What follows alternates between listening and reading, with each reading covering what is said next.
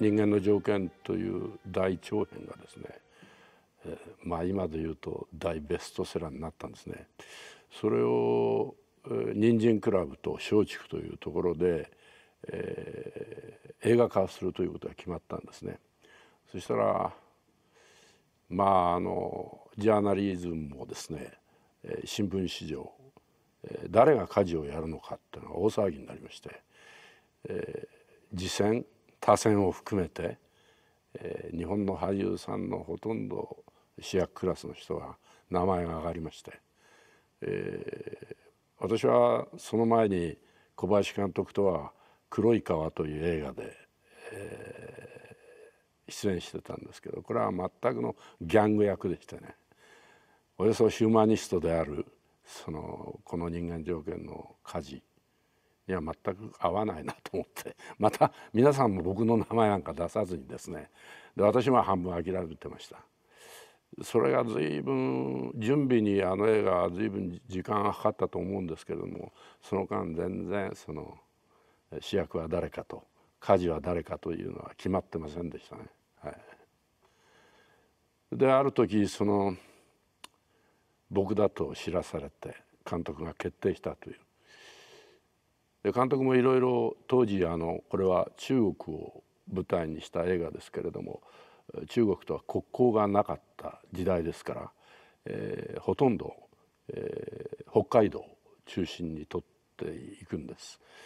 でロケハンっていうのがありまして監督やスタッフがずっとロケハンして歩いてそれは後で聞きますと、えー、2ヶ月近くロケハンしたらしいです。その時最後にお風呂に入ってる時にですね、えー、露天風呂に入ってる時に、えー、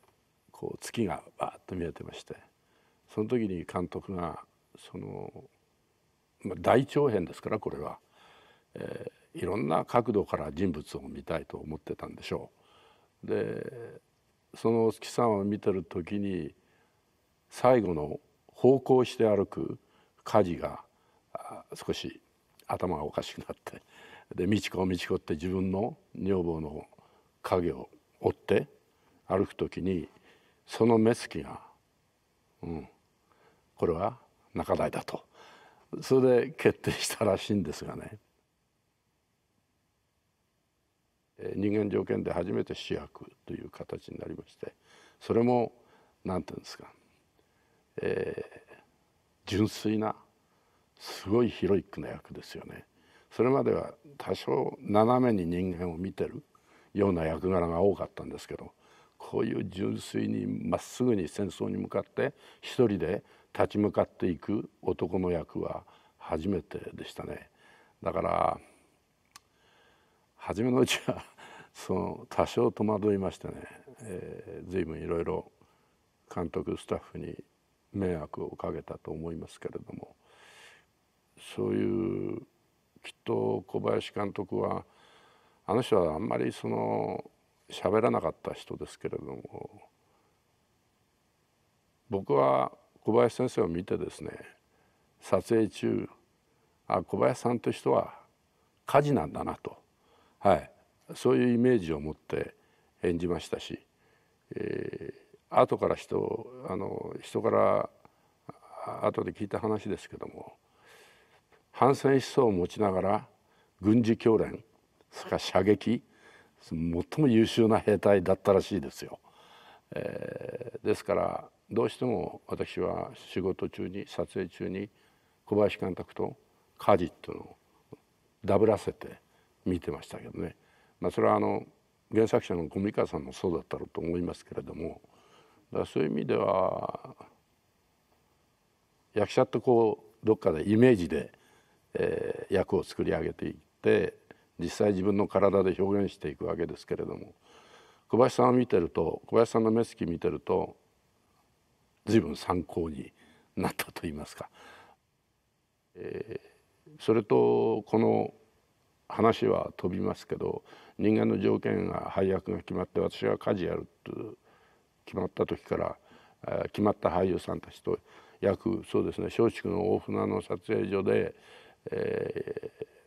ー、1か月ぐらい軍事教練させられました。でその映画の中にも出てくるんですけどあの A 内って言いましてあの兵隊がみんなダンベッドに寝てますね。でビッと音とともに、えー、監督たちが、えー、ストップウォッチを持って第一軍曹って言いましてさあこれでこのままもう戦場へ出かけても大丈夫だっていういわゆる形になるまで。寝ててそれから洋服を着替えて、えー、鉄砲持って軍剣下げてそれからいわゆるリックを背負ってですね。それでさっと戦場へ出ていく姿なるまでの訓練を徹底的にやらされました。それがだんだん速くなっていくんですね。毎日毎日。それとあと銃剣術とかそれからまあいわゆる軍隊の全員で歩く歩調ですね。それを一番重視それを約1か月以上やったと思いますけどそれから兵隊としてどうやって兵隊を演ずる役者がどれだけの訓練を受けるかということもある意味では戦争体験ではなかったなと思いますけれども。日本の当時の映画界演劇界含めてほとんどの人が出たんじゃないかと思います。それが全て先輩なんですね。その当時の僕の先輩の俳優さんばっかりですよ。だからよく今思うにあれだけの日本映画演劇の先輩の俳優の中で頑張れたなと感心しますし随分いろいろ教わったことあります。特にあの山村壮さんって役者は一部からずっと出ておりましていろいろ指導してくださってであるリハーサルの時に小林監督の前で山村さんと私とのリハーサルやったんですね。あの本読みって言いますか。で私ちょっと語尾を変えたんですね。そうなんだっていうのそうなんですよとかなんか語尾を変えたんですよ。で山村壮さんが中谷にちょっとつって呼ばれてあのシナリオライターっていうものはその語尾をどうにかどうするかによってすごい苦労するんだとだから俳優の整理で語尾を変えたりセリフを変えたりしてはいけないよって言われましたね。それは大変ありがたいことでだからそれからずっと役者として生きてきましたけど書かれたシナリオ書かれた戯曲の台本のセリフはそれはもちろんあの演出家なり監督に相談して変える場合はいいでしょうけどそうじゃない場合は自分が役者として生理的に言いやすいようにするってことはその後一切しませんでしたねだからそれは20代の初めの頃そういう教え方それから先輩たちの演技を見てあこういう演技があるんだこういう演技があるんだと思って自分で主役でやりながら随分勉強させてもらいましたね。仕掛け4年準備期間を入れてですね4年と言われてますけれども実際の撮影はやっぱり3年ぐらいだったと思います。それで大体1部2部撮り終えて、え半年間休みなんですね。でそれからまた3部4部始まってそれからまた半年間休みでえー、最後6部までだから3回にわたって、まあ、3年間はかかったわけですけども、えー、ほとんど順取りで行きましたから、まあ、当然つながってみると先ほども話しましたように顔つきはその3年間の20代の3年間の顔ってこんなに変わるものかなとその過程がですねやっぱり3年かけたっていうこともあるでしょうし自然に体が動くようになりましたね。はい、頭でこの解釈したりなんかすることはだんだんなくなってきて、えー、さっき話しましたように初期の段階でいろいろ悩んだことが、まあ、あまり悩まなかった 体の動くままになったような気がしますけれどね。だからその3年間は非常に過酷な撮影でもありましたしえー、大変だったですけれども相当やっぱり充実した3年間だと私にとっては充実した3年間だと思っておりますけれども、はい、まああの3年間一つも病気しなかったのは私と小林監督だけですからやばい体は強靭であったんだろうなといわゆる氷の川の中へ飛び込んだりですね戦車の下へ実際向こうから戦車がこう来るの下くぐったりですねそういうことができたっていうのは今から考えるとすごい恐ろしいことですけれどもそれも無我夢中の中でやりましたから、えー、あんまり辛いとも思いませんでしたね。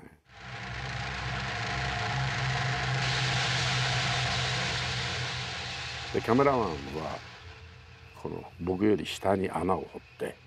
レンズだけこう出してそこは材木やなんかでがっちりしてで私のところは何単なる土だわけですよ周り。まあやっぱり前の日からちょっと食欲がなかったり 敵はまた降りてきて探すでしょうね兵って言いますか軍隊の、えー、中にまあ昔はもう鉄拳と言いましてねなんかミスするとパカパカ殴られるわけですねそれを僕が一番多い時に20人ぐらいの兵隊に実際げんこつで殴ってくるわけですよ。それでちょうど倒れて顔が腫れた時にカメラが回ってると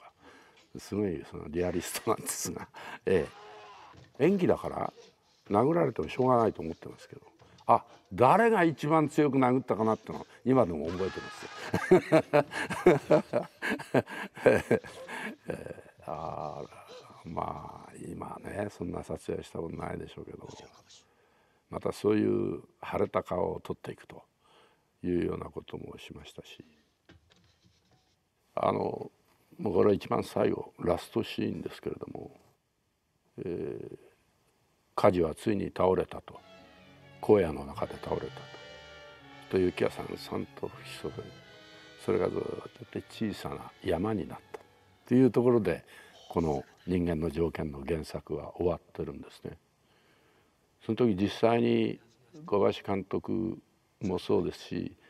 宮島さんというカメラマンもそうですけどすごいリアリストでして実際に、えー、北海道のサロベツ原野というところで撮ったんですけどもう吹雪がすごい時に実際にカメラ回して私は横たわってですね雪がその小山のようになるまで撮影するわけです。私にとってああだんだん気分あのだんあ例えば人回し2台か3台で回してたと思うんですが、えー、僕の姿が雪の中に隠れて小山のようになる。やっぱりだんだんもう朦朧としてきまして。ああ投資っていうのはこういう感じかなと思うぐらいまで撮影しカメラ回ってました。でやっと OK ということができてて。で僕はもう当時そうですね。えー、助監督さんが急に温めると、えー、凍傷になると。でまず裸にされてパンパン叩かれてそれから、えー、ベニヤに囲まれたあの火があるところへ。それで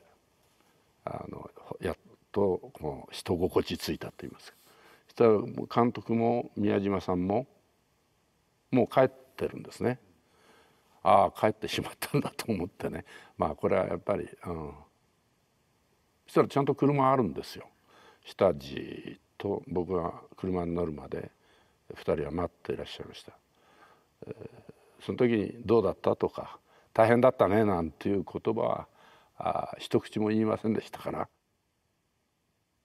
監督が、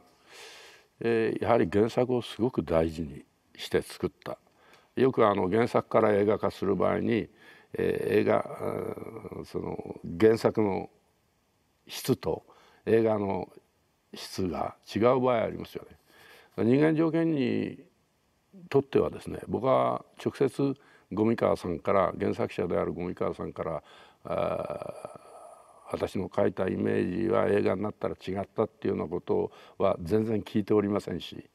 えー、監督は常に台本を片手にシナリオシナリオ片手に撮影してましたからそれから原作からシナリオにはないけれどもこの部分の原作の部分を入れようと前の日に、決めてそれを一生懸命覚えましてねやった記憶がありますから実に原作通りに作った本ではないかなとあ映画ではないかなと私は思っておりますけれども。でその後パーティーもやりましたし五味川さんのお宅に呼ばれていろいろご馳走になったりしましたですけど、えー、映画に関しての僕は監督と原作者はどう話あの感想を述べたか原作者が映画監督に感想を述べたかそれは分かりませんけど僕に対しては、えよくやったというお褒めの言葉を記憶してますけれども1年に一遍はやってましたですね日本では。12度 見たことあると思いますけどね9時間全部で。で徹夜興行ですから深夜興行といいますか皆お弁当持って見に来るわけですよね。えー、毎年1回はやってたんじゃないかと思って思いますその9時間上映っていうので僕が見た限りでは常に満員でして、えー、そう行われたですね。やっぱり反戦映画の日本映画として反戦映画のトップだと思いますけれども。感動するでしょうね。ええ、それっていうのはあのできた直後はこう人間条件ができた直後はやっぱりこういう客席の後ろから普通のお客さんと一緒に見るわけですけれども。できた頃は全体見られないんですね役者って。自分の演技し中心に見るんですね。これだけ年月が経ちますと全体として割と客観的にこの人間の条件という映画を今見ると若い時よりも理解できるんじゃないかと思いますけれどもはい。